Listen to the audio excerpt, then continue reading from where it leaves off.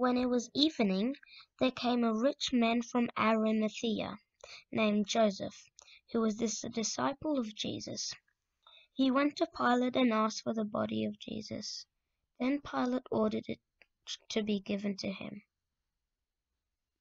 And Joseph took the body and wrapped it in clean linen shroud, and laid it in its own new tomb, which he had cut in the rock. And he had rolled a great stone to the entrance of the tomb and went away.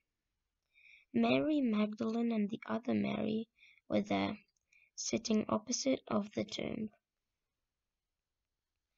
The next day, that is, after the day of preparation, the chief priests and the Pharisees gathered before Pilate, and said, Sir, we remember how that impostor said, while he was still alive, After three days I will rise.